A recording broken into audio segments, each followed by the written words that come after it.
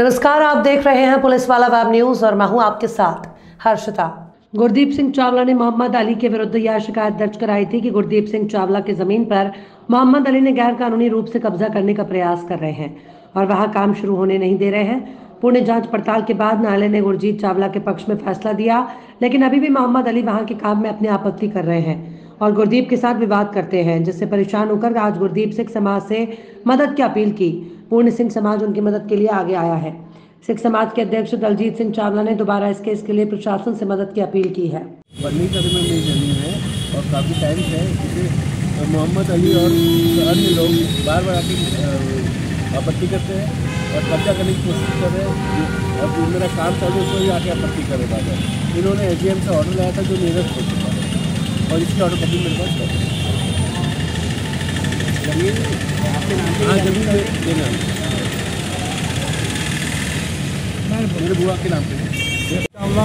जो कि वर्तमान भूमि स्वामी है पंडरी तराई का ये मामला है।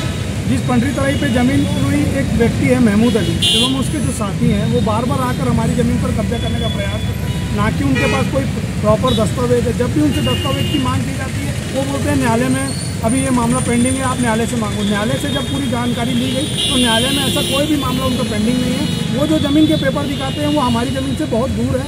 फर्जी पेपर उनके द्वारा तैयार किया गया जिसमें राजस्व के बहुत से लोग इन्वॉल्व हैं। अब हम हमारे पास गुरदीप चावला त्रिलोचन कौर चावला के द्वारा एक आवेदन प्रस्तुत किया गया था समाज को। तो हम समाज के रूप पर इस ज़मीन की जो आगे की जो कार्रवाई है उसको उत्तीर्ण करने जा रहे हैं। दलजीत सिंह चावला प्रदेश अध्यक्ष छत्तीसगढ़ सिख संगठन।